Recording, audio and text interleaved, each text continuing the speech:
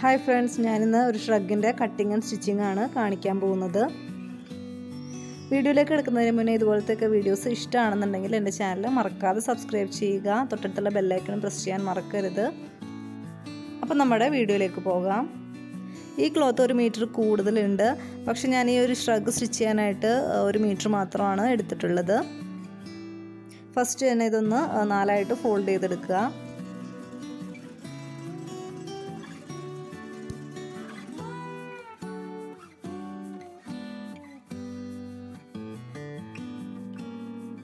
Cloth നാലായിട്ട് fold ചെയ്തെടുത്തിട്ടുണ്ട്. ഇനി നമുക്ക് ഫസ്റ്റ് തന്നെ ഷോൾഡർ മാർക്ക് ചെയ്ത് കൊടുക്കാം. എട്ട് ഇഞ്ചാണ് ഞാൻ ഷോൾഡർ മാർക്ക് ചെയ്തിട്ടുള്ളത്.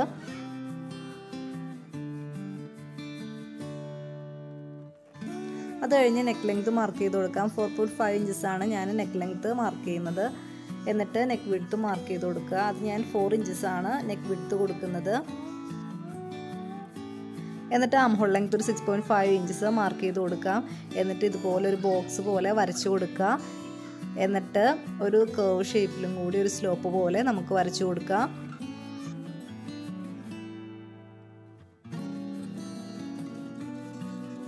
ഇനി ഒരു ടെൻ പോയിന്റ് ഫൈവ് ഇഞ്ചസ് നമുക്ക് ചെസ്റ്റ് മാർക്ക് ചെയ്ത് കൊടുക്കണം. അപ്പോൾ അതാ chest ten point five inches ഞാൻ മാർക്ക് ചെയ്ത് കൊടുത്തു. ഇനി നമുക്ക് ഷേപ്പ് ലെങ്ത്ത് മാർക്ക് ചെയ്ത് കൊടുക്കാം. തേർട്ടീൻ പോയിന്റ് ഫൈവ് ഇഞ്ചസ് ആണ് ഞാൻ ഷേപ്പ് ലെങ്ത്ത് കൊടുക്കുന്നത്. എന്നിട്ട് ഷേപ്പ് മാർക്ക് ചെയ്ത് കൊടുക്കാം. നയൻ ഇഞ്ചസ് ആണ് ഞാൻ ഷേപ്പ് കൊടുക്കുന്നത്. എന്നിട്ട് നമുക്ക് ടോട്ടൽ ലെങ്ത്ത് മാർക്ക് ചെയ്ത് കൊടുക്കാം. Twenty one point five inches ആണ് ഞാൻ ടോട്ടൽ ലെങ്ത്ത് കൊടുക്കുന്നത്.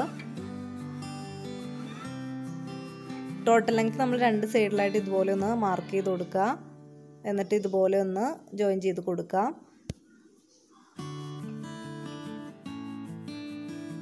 ഇനി നമുക്ക് ഹിപ്പ് മാർക്ക് ചെയ്ത് കൊടുക്കാം. ഒരു ടെൻ ഇഞ്ചാണ് ഞാൻ ഹിപ്പ് മാർക്ക് ചെയ്ത് കൊടുക്കുന്നത്. എന്നിട്ട് ആ മൂന്ന് പോയിന്റും കൂട്ടി യോജിപ്പിക്കുക. ഇതുപോലെ ഒരു ഷേപ്പ് പോലെ ഒന്ന് വരച്ചു കൊടുക്കാം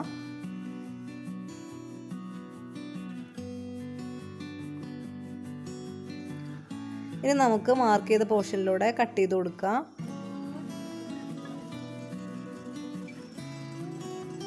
ഇനി ഷേപ്പ് ചെയ്ത ഭാഗത്തുനിന്ന് ഒരു മുക്കാൽ ഇഞ്ചോളം ഞാൻ സീം അലവൻസിനായിട്ട് മാർക്ക് ചെയ്ത് കൊടുക്കുന്നുണ്ട്. സാധാരണ ഒരു ഇഞ്ചാണ് സീം അലവൻസിന് കൊടുക്കുന്നത്. ഇവിടെ മുക്കാൽ ഇഞ്ച് മാത്രമാണ് കിട്ടിയുള്ളൂ. അതുകൊണ്ടാണ് ഞാൻ മുക്കാൽ ഇഞ്ച് മാർക്ക് ചെയ്ത് കൊടുക്കുന്നത്. ഇനി നമുക്ക് ആ മാർക്ക് ചെയ്ത പോർഷനിലൂടെ ഒന്ന് കട്ട് ചെയ്ത് മാറ്റാം.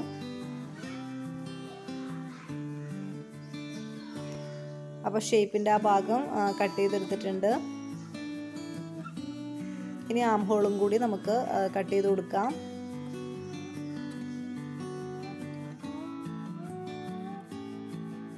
നമുക്ക് നെക്ക് മാർക്ക് ചെയ്ത് കൊടുക്കാം. നേരത്തെ നമ്മൾ നെക്ക് ലെങ്ത്ത് നാലര ഇഞ്ചും നെക്ക് വിഡ്ത്ത് നാല് ഇഞ്ചും മാർക്ക് ചെയ്ത് കൊടുത്തിരുന്നു. ഇനി നമുക്ക് ആ പോയിന്റ് തമ്മിലൊരു സ്ക്വയർ ഷേപ്പിൽ വരച്ചു കൊടുക്കാം. എന്നിട്ട് ഇതുപോലെ ഒരു വിയും അല്ല റൗണ്ടും അല്ലാത്ത ഒരു ഷേപ്പിൽ ഇതുപോലെ ഒന്ന് ജസ്റ്റ് ഒരു സ്ലോപ്പിലായിട്ട് വരച്ചു കൊടുക്കാം. എന്നിട്ട് ബാക്ക് ലെങ്ത്ത് ഒരു ഒരു ഇഞ്ച് മാർക്ക് ചെയ്ത് കൊടുക്കാം. അപ്പോൾ നമ്മൾ ഫ്രണ്ട് നെക്കും ബാക്ക് നെക്കും മാർക്ക് ചെയ്ത് കൊടുത്തിട്ടുണ്ട്. ഇനി നമുക്ക് കട്ട് ചെയ്ത് കൊടുക്കാം. ഫസ്റ്റ് തന്നെ നമുക്ക് ബാക്ക് നെക്ക് ഇതുപോലെ ഒന്ന് കട്ട് ചെയ്ത് കൊടുക്കണം. എന്നിട്ട് ഫ്രണ്ട് നെക്ക് ഇതുപോലെ കട്ട് ചെയ്യരുത്. ഉള്ളിൽ നിന്ന് ഒരു പീസ് എടുത്ത് മാറ്റിയിട്ട് മാത്രം നമ്മൾ കട്ട് ചെയ്ത് കൊടുക്കുക. അപ്പോൾ ഇതുപോലെ കറക്റ്റായിട്ട് വെക്കുക. എന്നിട്ട് ആ മാർക്ക് ചെയ്ത ഭാഗത്തോടെ ഇതുപോലെ നമുക്ക് കട്ട് ചെയ്ത് കൊടുക്കാം.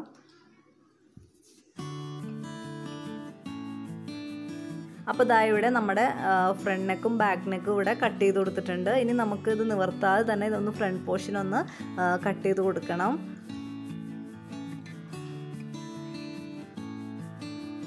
കറക്റ്റായിട്ട് വെച്ചിട്ട് തന്നെ ഇതുപോലെ കട്ട് ചെയ്യാൻ ശ്രദ്ധിക്കുക.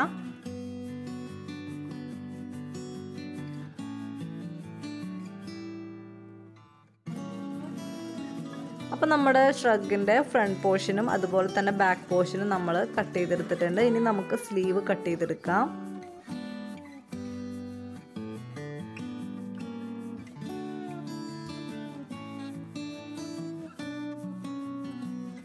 ഇനി നമുക്ക് ബാക്കിയുള്ള പീസും കൂടി ഒന്ന് നാലായിട്ടൊന്ന് ഫോൾഡ് ചെയ്തെടുക്കാം. അപ്പം ഞാനിതാ നാലായിട്ട് ഫോൾഡ് ചെയ്തെടുത്തിട്ടുണ്ട്. ഇനി നമുക്ക് ഫസ്റ്റ് തന്നെ സ്ലീവിന്റെ വിഡ്ത്ത് ഒന്ന് മാർക്ക് ചെയ്ത് കൊടുക്കാം. നമ്മുടെ ആം ഹോൾ ലെങ്ത്തിന്റെ കൂടെ ഒരു ടു ഇഞ്ചസ് ആഡ് ചെയ്തിട്ടാണ് സ്ലീവിന്റെ വിഡ്ത്ത് കാൽക്കുലേറ്റ് ചെയ്യുന്നത്.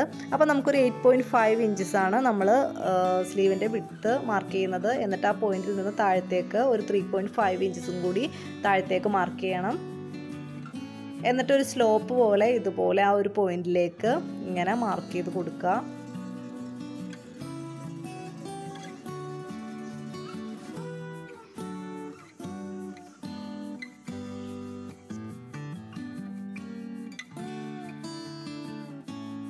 അപ്പോൾ ഇതാ ഒരു സ്ലോപ്പ് പോലെ വരച്ചു കൊടുത്തിട്ടുണ്ട്. ഇനി നമുക്ക് സ്ലീവ് ലെങ്ത്ത് മാർക്ക് ചെയ്ത് കൊടുക്കാം. നയന്റീൻ ഇഞ്ചസാണ് ഞാൻ സ്ലീവ് ലെങ്ത്ത് മാർക്ക് ചെയ്ത് കൊടുക്കുന്നത്. എന്നിട്ട് അടി പോയതുപോലെ നമുക്ക് വരച്ചു കൊടുക്കാം. എന്നിട്ട് സ്ലീവിന്റെ അരികത്തായിട്ടുള്ള വിടുത്തും കൂടി മാർക്ക് ചെയ്ത് കൊടുക്കാം. ഫോർ പോയിന്റ് ഫൈവ് ഇഞ്ചസാണ് ഞാൻ മാർക്ക് ചെയ്ത് കൊടുക്കുന്നത്. പിന്നെ ഒരു ഒരു ഇഞ്ച് സീം അലവൻസിന് ആഡ് ചെയ്യുന്നുണ്ട്. ഇനി ആ പോയിന്റിലേക്ക് നമുക്ക് ഇതുപോലെ മാർക്ക് ചെയ്ത് കൊടുക്കാം. ഇനി നമുക്ക് ആ മാർക്ക് ചെയ്ത പോർഷനിലൂടെ കട്ട് ചെയ്തെടുക്കാം.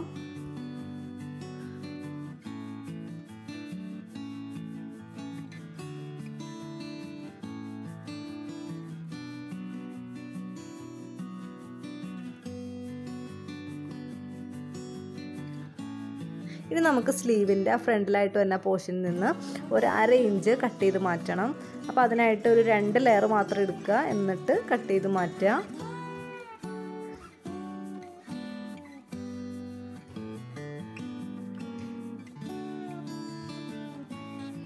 അപ്പോൾ നമ്മുടെ സ്ലീവിന്റെ ഫ്രണ്ടിലായിട്ട് തന്നെ ആ ഒരു പോർഷനിൽ നിന്ന് നമ്മൾ അര ഇഞ്ച് കട്ട് ചെയ്ത് മാറ്റിയിട്ടുണ്ട്. അപ്പോൾ നമ്മുടെ സ്ലീവും കട്ട് ചെയ്ത് കഴിഞ്ഞു. ഇനി നമുക്ക് നെക്ക് മടക്കി സ്റ്റിച്ച് ചെയ്യാനായിട്ട് ക്രോസിൽ ഒരു ഒന്നര ഇഞ്ച് വിട്ടിൽ നമുക്കൊരു പീസ് കട്ട് ചെയ്തെടുക്കണം. അതിനായിട്ട് ഇതുപോലെ ഒരു സ്കെയിലോ അല്ലെങ്കിൽ ടേപ്പോ വെച്ചിട്ട് ഇതുപോലെ ഒന്ന് ഫസ്റ്റ് വരയ്ക്കുക. എന്നിട്ട് ഒരു ഒന്നര ഇഞ്ച് വിട്ടിൽ ഇതുപോലെ വരയ്ക്കുക. എന്നിട്ട് നമുക്ക് കട്ട് ചെയ്ത് മാറ്റാം.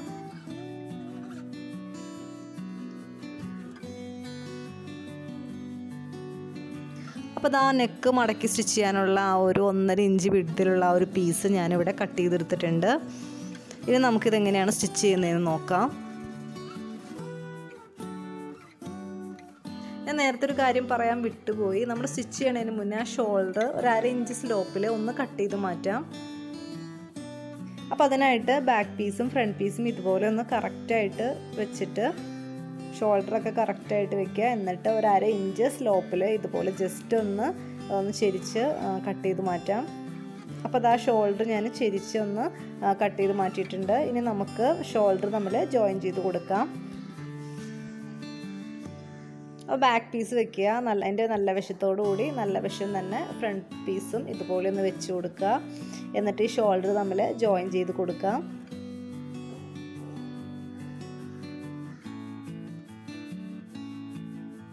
അപ്പോൾ ഞാനിതിന്റെ ഷോൾഡർ ജോയിൻ ചെയ്ത് കൊടുത്തിട്ടുണ്ട്. ഇനി നമുക്ക് ഇതിന്റെ സ്ലീവ് ഒന്ന് അറ്റാച്ച് ചെയ്ത് കൊടുക്കണം.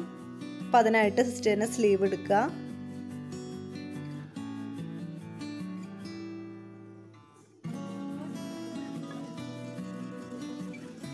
സ്ലീവ് പീസ് എടുത്തിട്ട് നമുക്കിതിന്റെ അരികൊന്ന് മടക്കി സ്റ്റിച്ച് ചെയ്ത് കൊടുക്കാം.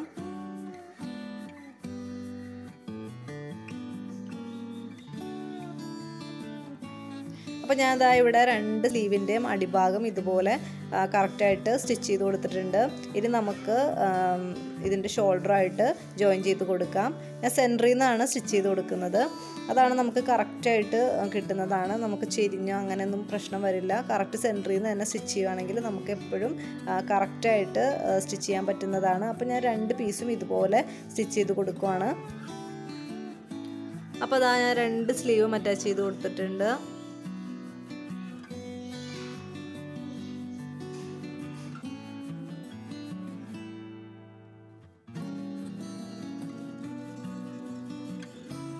ഇനി നമുക്ക് ഈ ഷ്രഗ് നേരെ ഇതുപോലെ ഒന്ന് കറക്റ്റായിട്ട് വെക്കുക. എന്നിട്ട് നമുക്ക് ഷേപ്പ് ഒന്ന് മാർക്ക് ചെയ്ത് കൊടുക്കണം. നമ്മൾ കട്ട് ചെയ്ത് ഈ സ്ലീവൊക്കെ വെച്ചിട്ട് നമ്മൾ ഈ ഷേപ്പ് മാർക്ക് ചെയ്യുകയാണെങ്കിൽ നമുക്ക് എപ്പോഴും നല്ല കറക്റ്റ് ഷേപ്പിൽ തന്നെ നമുക്ക് കിട്ടുന്നതാണ്. മറ്റേതാകുമ്പോഴത്തേക്കും ചെറിയ വേരിയേഷൻ വരാനുള്ള ചാൻസ് ഉണ്ട്. നമ്മൾ ഷേപ്പ് സ്റ്റിച്ച് ചെയ്ത് കൊടുക്കുന്ന സമയത്തിന് തൊട്ട് മുന്നേ തന്നെ മെഷർമെന്റ് മാർക്ക് ചെയ്ത് സ്റ്റിച്ച് ചെയ്തെടുക്കുകയാണെങ്കിൽ നമുക്ക് ഹൺഡ്രഡ് പെർസെന്റേജ് പെർഫെക്റ്റ് ആയിട്ട് കിട്ടുന്നതാണ്.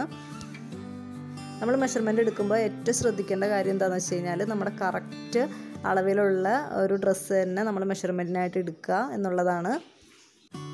പ്രത്യേകിച്ച് നമ്മൾ ചുരിദാർ പോലുള്ള ഡ്രസ്സുകൾ സ്റ്റിച്ച് ചെയ്യുകയാണെങ്കിൽ നല്ല കറക്റ്റ് മെഷർമെന്റ് ആയിരിക്കുക അല്ലെങ്കിൽ നമുക്ക് അത്ര ഒരു പെർഫെക്ഷൻ കിട്ടില്ല. അപ്പോൾ ചുരിദാറിലൊക്കെ അത് പ്രത്യേകം ശ്രദ്ധിക്കേണ്ട കാര്യമാണത്.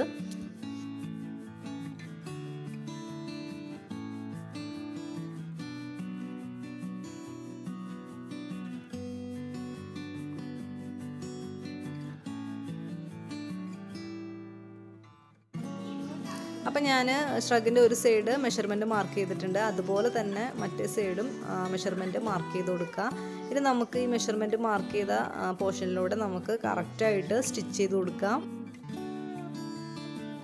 അപ്പോൾ ഇതാ ഇവിടെ ഷ്രഗിന്റെ രണ്ട് സൈഡും ഞാൻ സ്റ്റിച്ച് ചെയ്തെടുത്തിട്ടുണ്ട്. ഇനി നമുക്ക് ഷ്രഗിന്റെ ഫ്രണ്ട് പോർഷനും അടിയിലത്തെ പോർഷനും നമുക്ക് മടക്കി സ്റ്റിച്ച് ചെയ്തെടുക്കാം. അപ്പോൾ ഇതുപോലെ ഒന്ന് മടക്കുക എന്നിട്ട് സ്റ്റിച്ച് ചെയ്തെടുക്കുക. ഇതുപോലെ തന്നെ അടിഭാഗവും നമുക്ക് സ്റ്റിച്ച് ചെയ്തെടുക്കാം.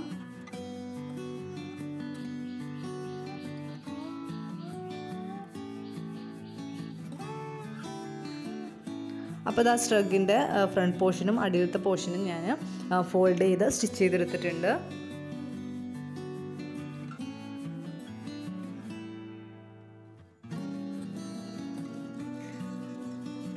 ഇനി നമുക്ക് ഈ ഷ്രഗിന്റെ നെക്കും കൂടി നമുക്ക് സ്റ്റിച്ച് ചെയ്ത് കൊടുക്കാം.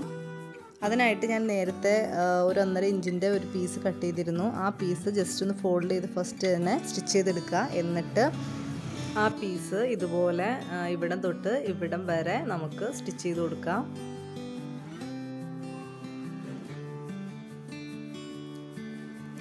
ആ നെക്കിന്റെ അരികു ഭാഗം എത്തുമ്പോൾ ഇതുപോലെ ഒരു അര ഇഞ്ച് ഇട്ടിട്ട് നമുക്ക് ആ പീസ് ഒന്ന് കട്ട് ചെയ്ത് മാറ്റണം.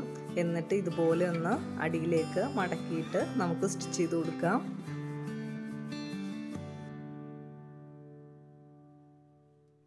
അപ്പോൾ ഞാനിതാ കറക്റ്റായിട്ട് സ്റ്റിച്ച് ചെയ്തെടുത്തിട്ടുണ്ട്. ഇനി ഇതുപോലെ ഒന്ന് ജസ്റ്റ് കട്ട് ചെയ്ത് കൊടുക്കാം.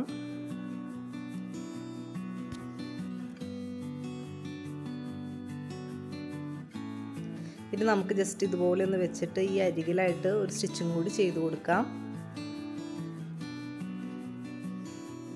അപ്പോൾ അതാ ഞാൻ സ്റ്റിച്ച് ചെയ്ത് കഴിഞ്ഞു.